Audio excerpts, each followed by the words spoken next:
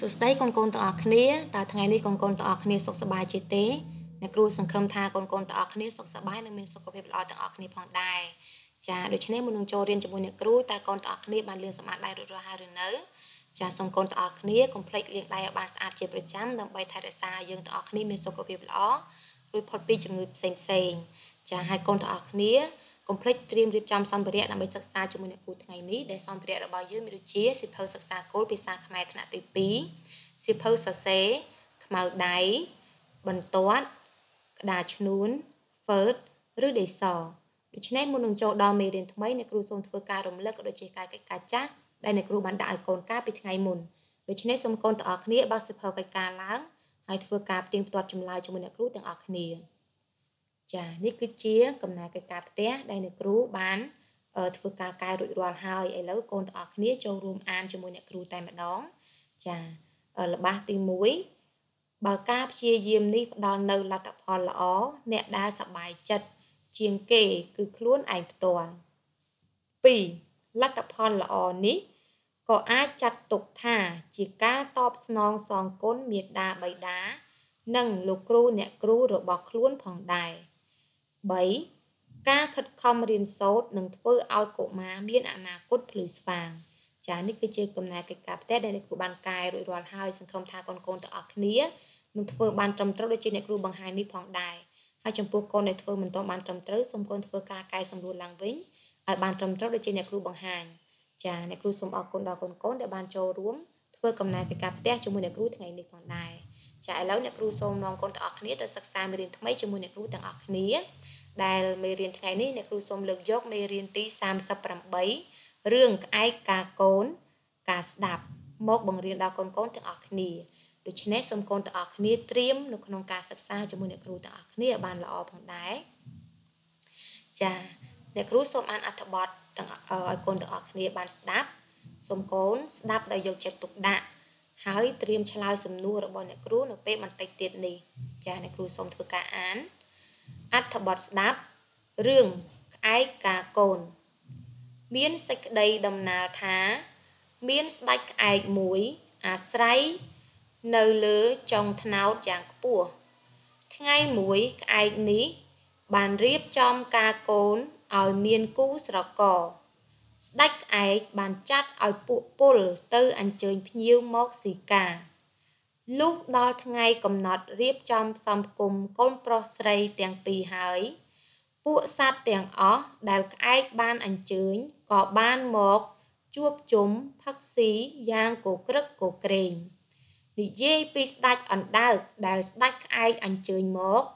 ខំវាទៅនឹងគេដែរតែដោយហេតុជើងវាខ្លីពេក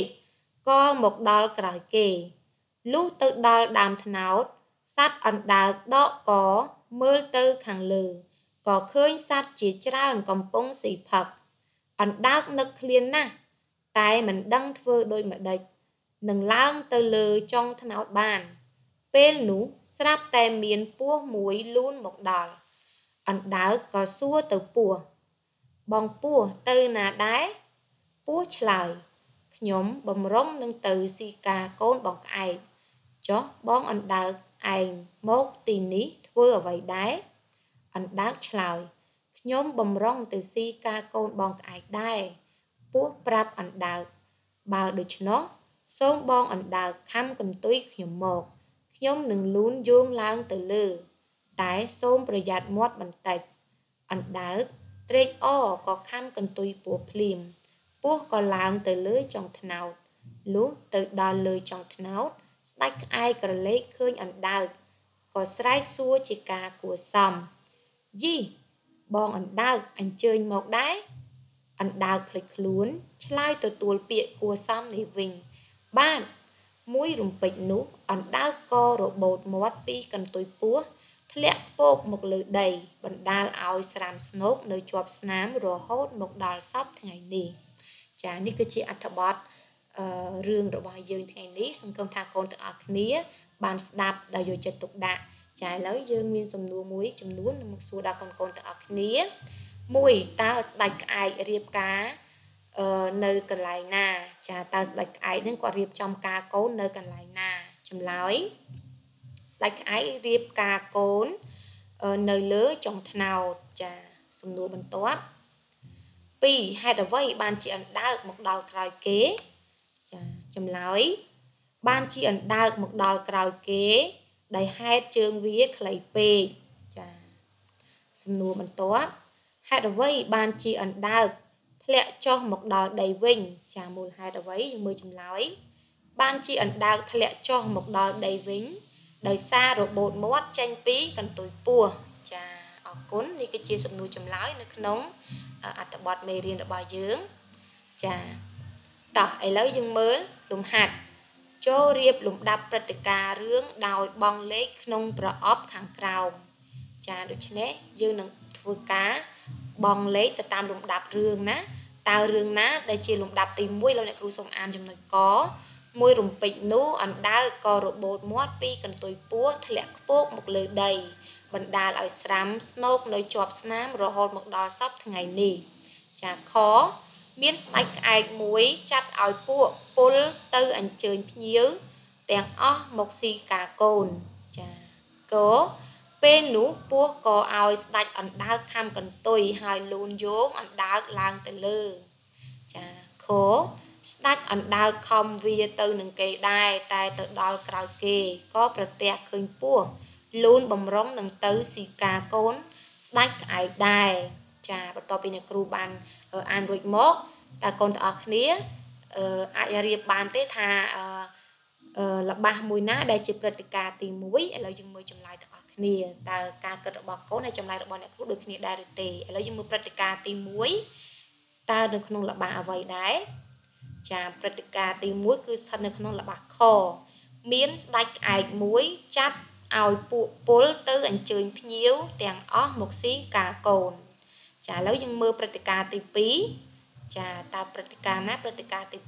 2ចាគឺល្បះខណាស្ដេចអណ្ដើកខំវាទៅនឹងគេដែរតែទៅដល់ក្រោយគេក៏ប្រទះឃើញពស់លូនបំរុងនឹងទៅស៊ីការកូនស្ដេចក្អែកដែរចានេះគឺជាព្រឹត្តិការណ៍ទី2ឥឡូវយើងមើលបន្ទាប់ទៀតព្រឹត្តិការណ៍ទី3នៅក្នុងល្បះអ្វីដែរយើងមើលចាគឺស្ថិតនៅក្នុងល្បះក ពេលនោះពស់ក៏ឲ្យស្ដាច់អណ្ដើកខំកន្ទុយហើយលូនយោងអណ្ដើកឡើងទៅទៅលើចានេះគឺជាព្រឹត្តិការណ៍ទី3ឥឡូវព្រឹត្តិការណ៍ទី4គឺប្រកាសជានៅក្នុងអីគេល្បះកនឹងឯងមួយរំពេចនោះអណ្ដើកក៏របូតមាត់ពីកន្ទុយពោះធ្លាក់ខ្ពកមកលើដីបណ្ដាលឲ្យស្រាំស្នោកនៅជាប់ស្នាមរហូតមកដល់សពថ្ងៃនេះចានេះគឺជាព្រឹត្តិការណ៍ដែលយើងបានរៀបជាមួយគ្នា ចាសង្ឃឹមថាកូនកូនទាំងអស់គ្នា បានយល់អំពីការរៀបព្រឹត្តិការណ៍នេះដែលយើងរៀបព្រឹត្តិការណ៍មានន័យថារឿងនេះមិនមិនដាក់មកមិនមែនតាមលំដាប់លំដោយទេហើយក៏មិនមែនជាសាច់រឿងមុនដំបូងមកអស់អីដែរគ្រាន់តែជារឿងបន្ទាប់បន្ទាប់តែគេលើកមកឲ្យយើងទាំងអស់គ្នារៀបតើមួយណា ជាព្រឹត្តិការណ៍មុនមិនអាចជាព្រឹត្តិការណ៍ក្រោយមែនទេចាសង្ឃឹមថាកូនកូនទាំងអស់គ្នាយល់ហើយយើងនឹងអាចរៀបបាននៅមេរៀនក្រោយៗទៀតតោះឥឡូវនៅគ្រូមានលំហាត់មួយទៀត ចាចូលជ្រើសរើសពាក្យក្នុងប្រអប់ទៅបំពេញលបាខាងក្រោម ចាពាក្យក្នុងប្រអប់មានដូចជា កន្ទុយអណ្ដើកភ្ញៀវស្នាមក្អែកហាមខំវាឃើញចាដោយលបារបស់យើងលបាទី1មានស្ដាច់ចុចចុចមួយចាត់ឲ្យពួកពលហើហៅចុចចុចទាំងអស់មកស៊ីកាកូន